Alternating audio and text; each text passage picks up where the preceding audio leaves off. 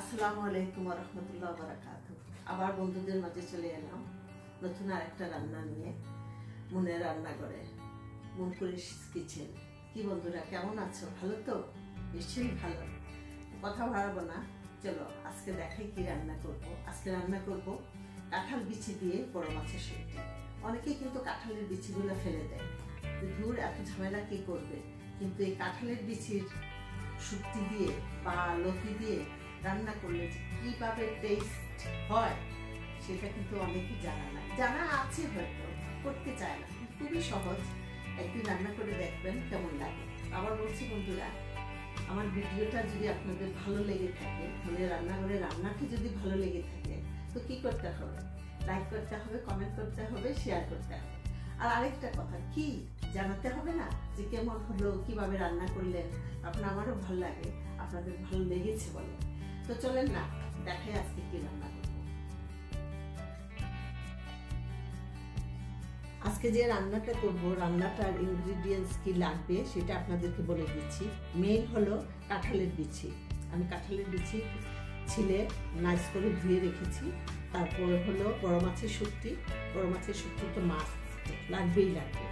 এটা, তারপর হলো পেঁয়াজ বাটা, রসুন কুচি, তারপর মরিচের গুঁড়ো হলুদ গুঁড়ো তেল লাগবে জিরা ধনিয়া লাগবে সল্ট আপনাদের যে যেরকম কেউ আছে অনেক একটু বেশি পছন্দ করে কেউ কম। তো আর অনেকে হয়তো এটা ভাবতে পারেন যে আপা জিরা ধনিয়া কেন শুক্তিতে জিরা ধনিয়া কিন্তু দিতেই হয় কারণ একদম মাংসের মতো তো এটা আপনি ভুলবেন এই কারণে আপনার জিরা ধনিয়া লাগবে। চুলায় আগুন দিয়ে দেই গ্যাসটা ধরিয়ে দিলাম। এটা একটু গরম করে তারপর তেল ঢেলে দিব।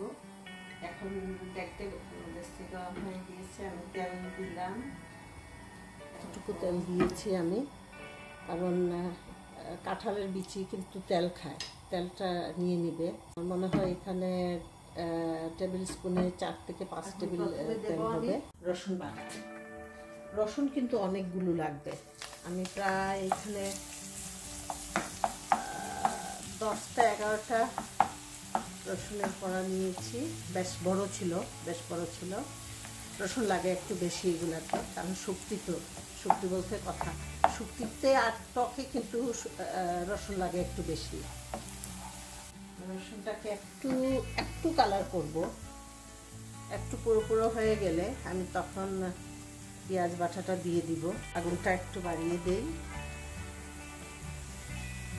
রাইট হ্যাঁ আমার রসুনটা একটু ভাজা হয়ে গিয়েছে। এখন যেটা করব আমি, পেঁয়াজ বাটা দেব।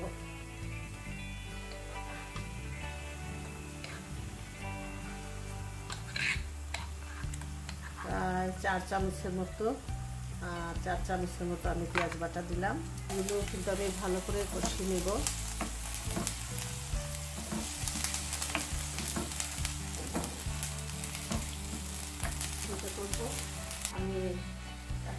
মরিচগুলো আমি বেটে ব্লাইন্ড করে, আমি রেখে দিই কিসে ফ্রিজের মধ্যে। আপনাদেরকে সবসময় বলি, এটা ইজি হয় রান্না করতে। এখন আমি সব স্পাইসগুলো দিয়ে দিব। দিব আমি এক চামচ হলুদ।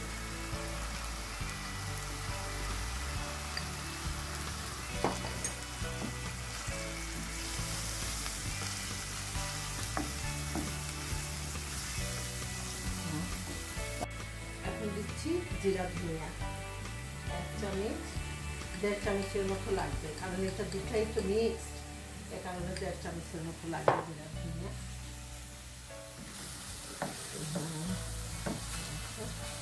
তারপরে যেটা দিব, এখন দিব মরিচ। মরিচটা কিন্তু আপনাদের আন্তাজ মতো। আমি একটু ঝাল খাই। এ কারণে আমি একটু মরিচ বেশি দিলাম। আমি দুই চামচের মতো মরিচ দিয়েছি এখানে। তারপর বাটা ছিল। ওই মরিচটাও দিলাম। সেটা আপনাদের ইচ্ছে। আপনারা যদি ঝাল বেশি খেয়ে থাকেন, তাহলে ঝাল একটু বেশি দিবেন, কম খেলে কম দিবেন।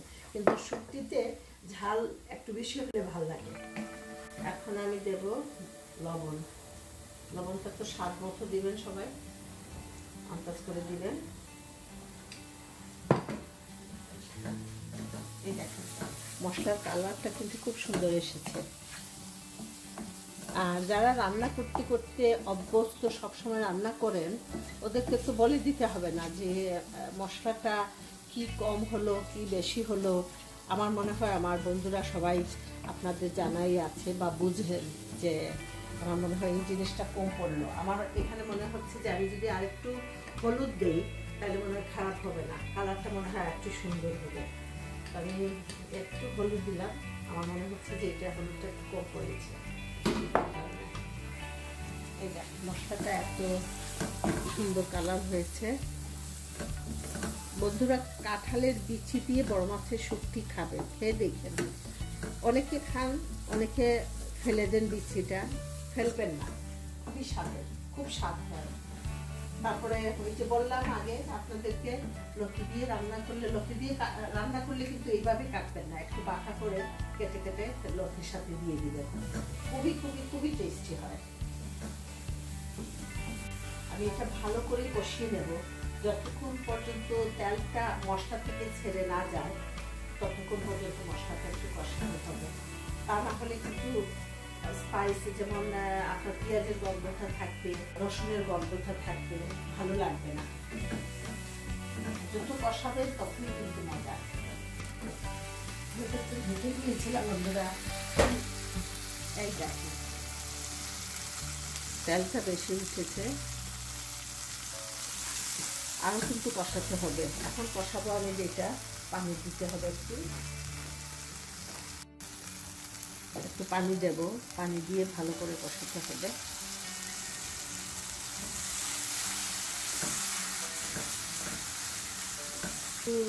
দুই থেকে তিন মিনিট আমি এইভাবে কষাবো। কালারটা যখন একটু সুন্দর কালার হয়ে যাবে, আর মন- হবে যে হ্যাঁ ভালো করে কষানো হয়ে গিয়েছে, তখন কিন্তু আমি কাঁঠালের বিচিটা দেবো।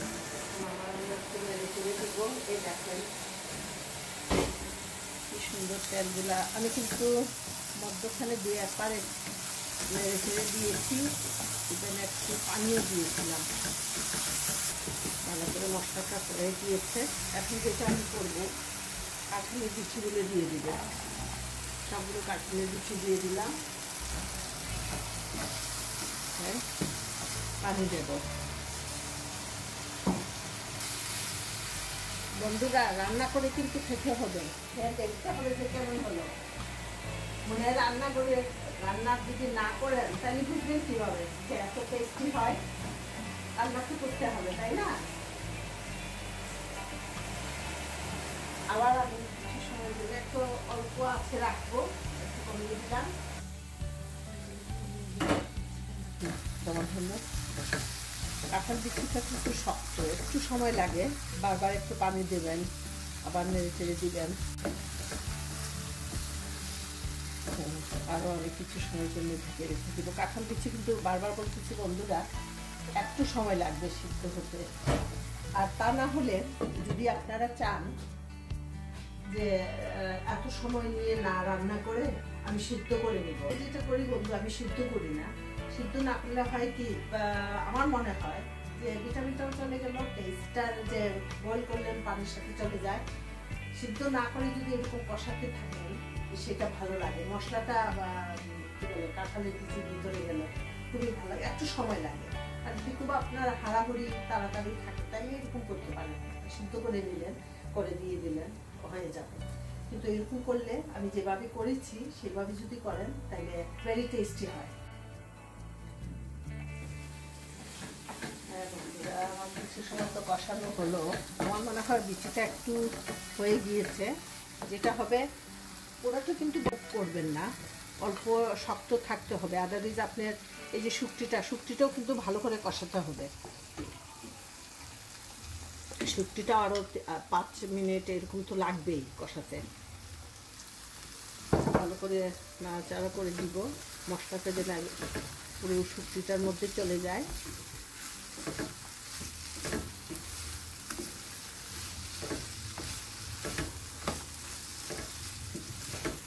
দেখেন মানে কেমন লাগছে ভালো লাগছে না?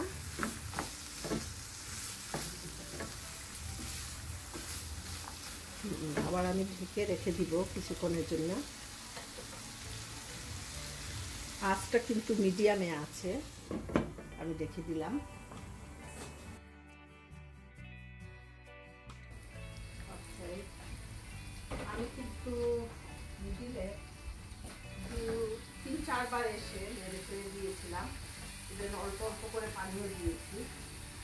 বলেছিলাম না আগে যে একটু সময় লাগে একটু সময় লাগে। কারণ কাঁঠালের বিচিটাও শক্ত, তারপরে যে বড় মাছের সবজিটাও শক্ত, একটু সময় লাগবে। দেখেন কালারটাও বেশ ভালো হয়েছে। আর যেটা আমি বললাম আপনাদেরকে, যে বয়েল করলে এই বিচিটা কিন্তু এরকম দেখতে মনে হতো না। সাদা সাদা একটু কেমন হয়ে যেত। এই এখন মনে হচ্ছে যে স্পাইসগুলো অয়েল সে সাক করেছে। ভালো লাগছে দেখতে, যে টেস্টি মনে হচ্ছে। এখন আমি আর একটু পানি দেব। পানি দিয়ে দিয়ে কিন্তু নাড়াচাড়া করতে হবে। আমি এখানে পানি দিলাম, এইটায় এক কাপ পানি। আবার ভালো করে নেড়ে দিয়ে আমি ঢেকে রেখে দিব। একটু সময় লাগবে বন্ধুরা। আমি এখন ঢেকে রেখে দিব. এখন। একটু দেখি কেমন হলো এই দেখেন কি সুন্দর কালার হয়েছে খুবই সুন্দর। আপনারা চাইলে যখন রান্না করবেন চাইলে এরকমও দেখতে পারেন যে শুক্তিটা হলো কি না তারপরে কাঁঠালের বিচিটাও এরকম দেখতে এরকম হলো কি না। এরকম যদি না চান, তাহলে আমি বলি এরকম নিয়ে নিবেন। নিয়ে যেটা করবেন, হাত দিয়ে টিপে। আমার মনে হয় যে আর একটু লাগবে, হয় না এইটা। একটু সময় লাগবে। আমি কিন্তু এখন একটু বেশি পানি দেবো। একটা কাপ পানি দিলাম।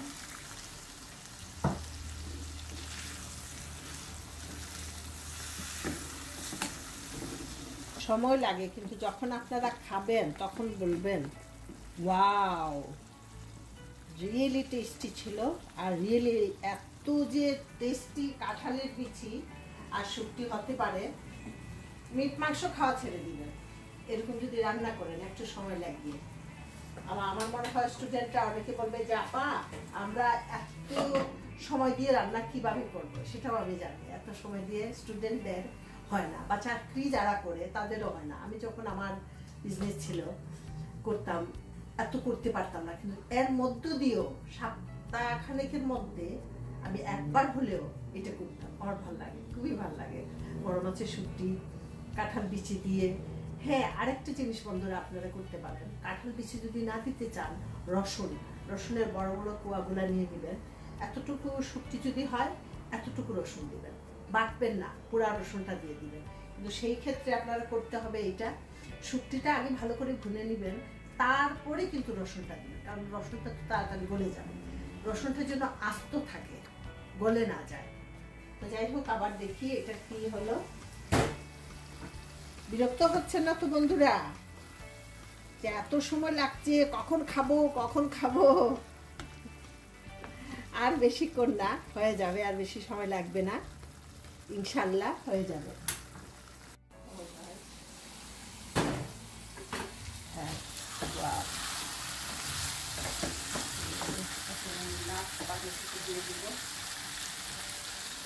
পানি দিলাম। দিলাম এই পানিটা কিন্তু এরকম থাকবে না। এটা হলো লাস্ট পানি দেওয়া। এখন আমি এখানে কুরিয়ান্ডাও দিয়ে দিব ধনিয়া পাতা দিয়ে দিব। এটা শুকিয়ে যাবে, যখন ওই যে প্রথম দেখলাম যেভাবে ছিল, সেভাবে হয়ে যাবে। তো আমি এখন ধনিয়া পাতা দিব। হ্যাঁ। ধনিয়া পাতা দিয়ে দিলাম।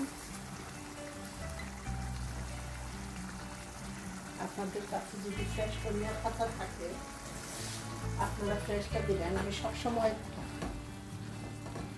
ধনিয়া পাতাটা কেটে ফ্রিজে রেখে দিই। ফ্রিজারে রেখে দিই।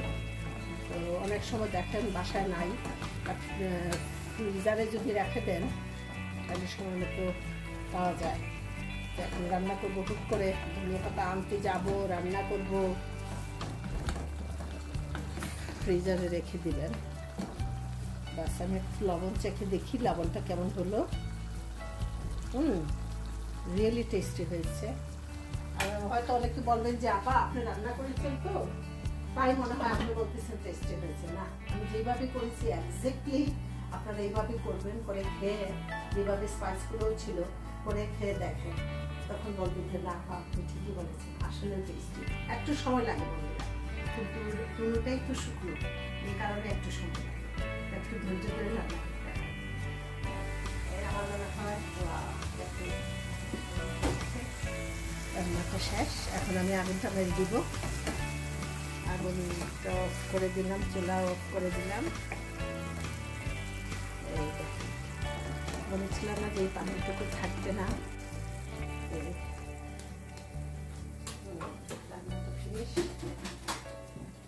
এখন যেটা করতে হবে ওকে বন্ধুরা, কি করতে হবে? একটা কিছু তো চাইতে হবে আপনাদের কাছে, তাই না? এটা আমার পাওনা।